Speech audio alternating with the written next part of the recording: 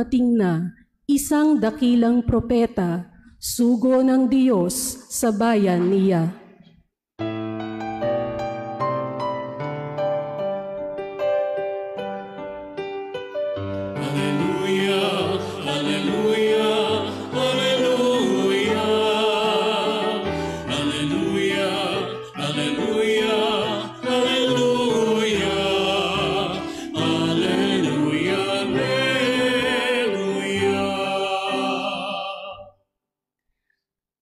Sumainyo ang Panginoon. at sumaiyo rin. Ang mabuting balita ng Panginoon ayon kay San Marcos.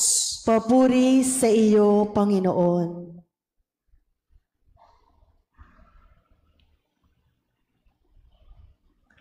Noong panahong iyon, may isang ketonging lumapit kay Jesus, nanikluhod at nagmakaawa.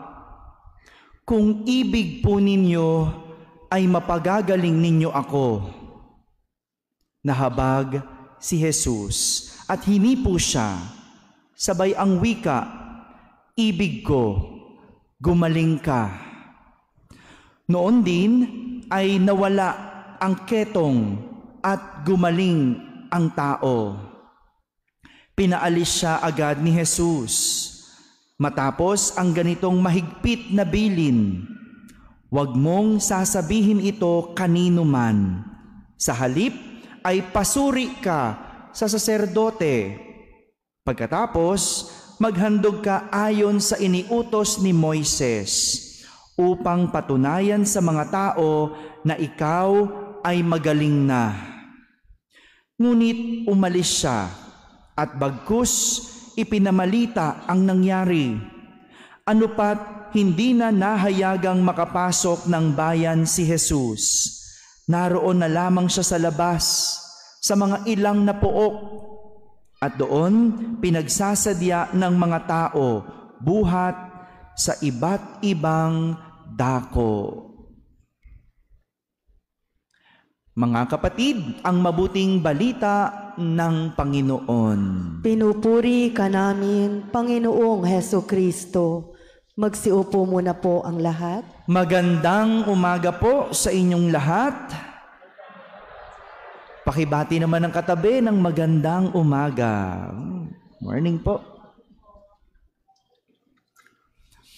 Noong sinaunang panahon, hanggang sa panahon ni Jesus, ang ketong ang isa sa pinaka kinatatakutang uri ng sakit. Sa dalawang dahilan. Una, dahil noong panahong iyon, wala pang lunas sa sakit na ketong. Kaya kinatatakutan, walang makahanap ng gamot sa ketong. At pangalawa, dahil ito ay nakakatakot. Nakakatakot dahil nakakahawa.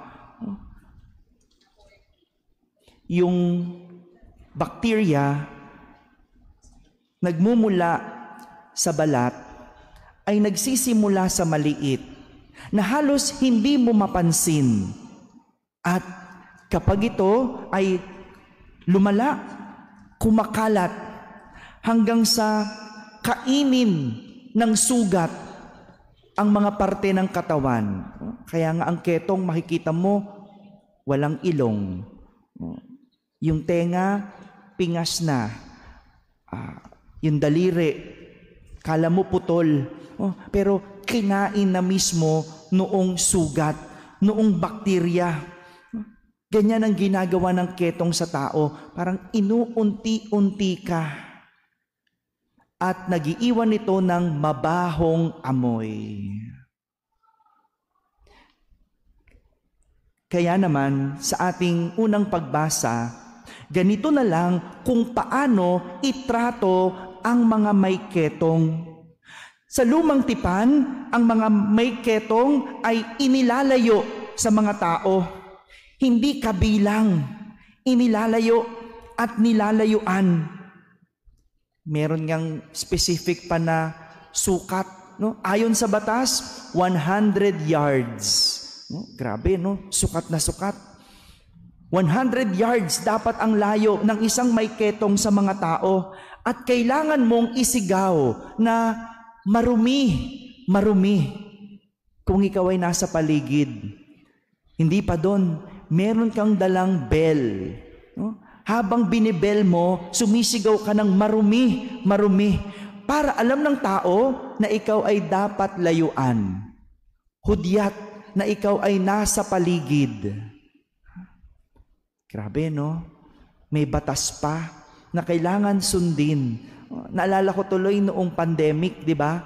Tayo rin may batas. Noong pandemic, ubuhin ka lang, no? O ano ka na?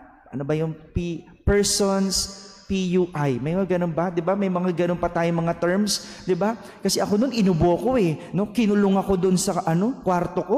No? Parang uh, at bawal lumabas, no? Bawal lumabas. May batas tayong ganun, no? Walang magpa-party, walang gathering, no? Yung mga sumuway nga sa batas eh.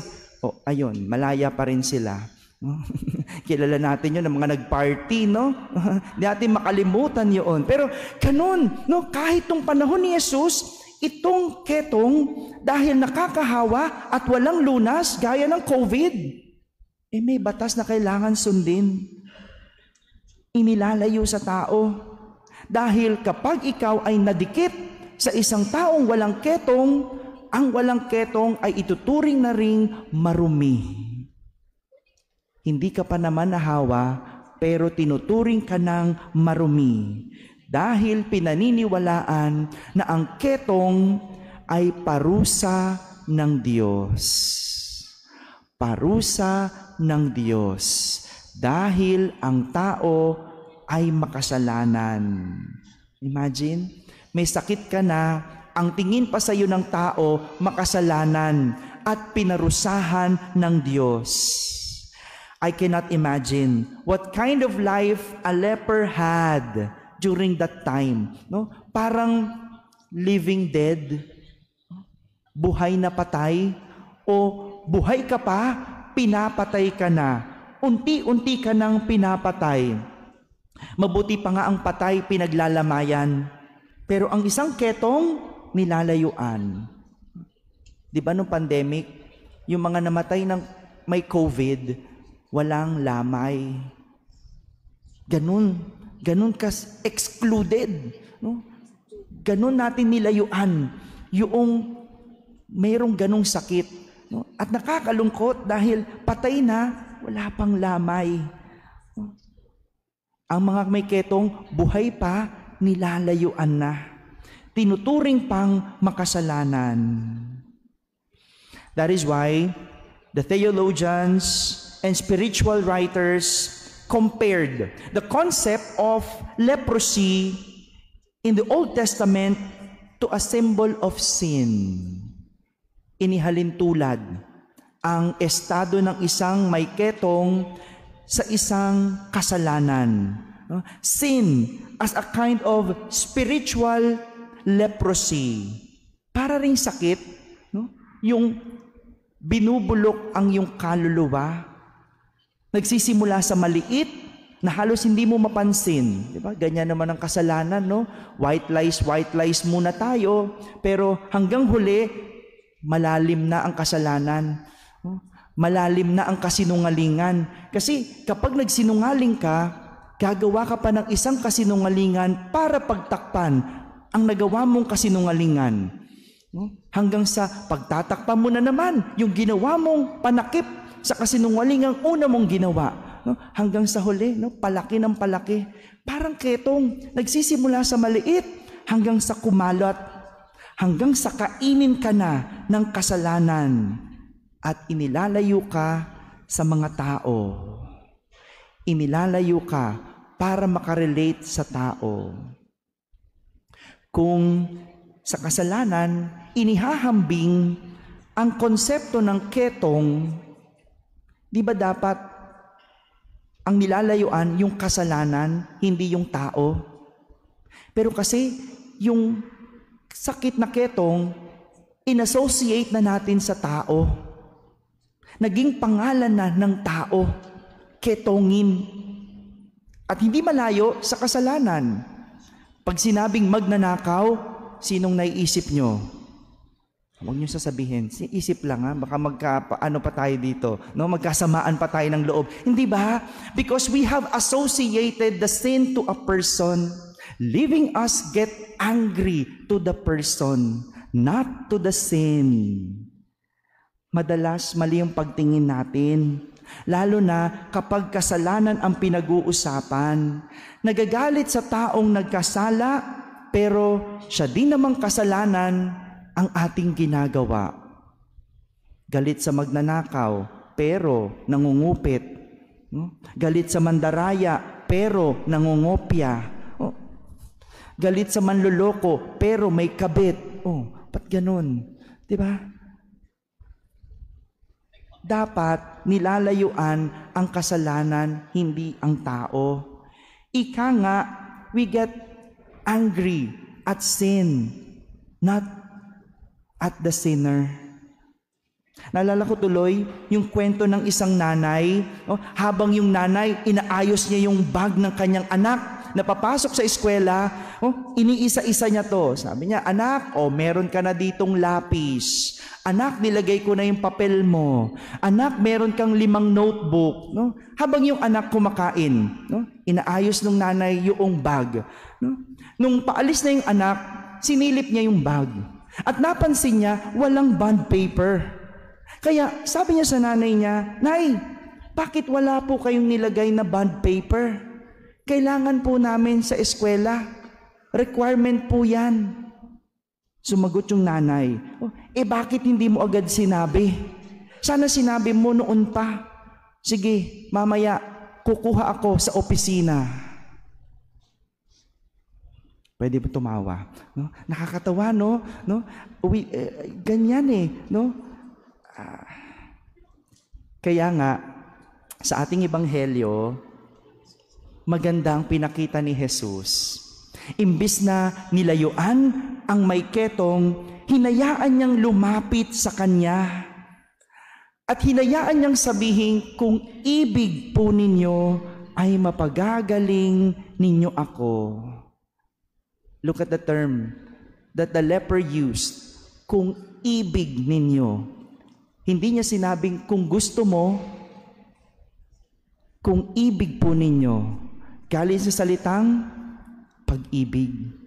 Kaya sabi ni Jesus, ibig ko, gumaling ka. Ganyan ang Diyos. He loves us to be healed. He loves to heal us. But the question is, are we willing to leave the things that make us sick? Ibig ng Diyos na tayo ay gumaling.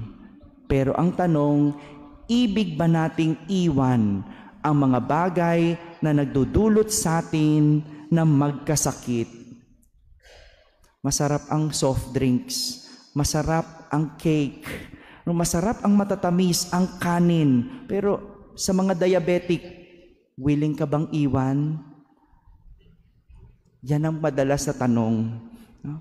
We want us to be healed, but do we also want to leave the things that make us sick? Mga kapatid, papasok na po tayo sa panahon ng Kwaresma. Malapit na. Ngayong Wednesday, Ash Wednesday po. Magsimba po tayo at mag-ayuno. Mag-fast lang po. Konting sakripisyo para sa ating mga kasalanan. We are being called as early as now to go to confession this Lent. Hopefully, we don't allow Holy Week to come without going to confession. Mangumpisal, humingi ng tawad dahil nais ng Diyos tayo ay mapagaling. Pero ang tanong, nais ba nating iwan ang mga bagay na nagdudulot sa atin sa pagiging makasalanan? This is the invitation for all of us to be healed, to be cleansed this coming Holy Week. But the question is, are we willing to leave the things that make us sick.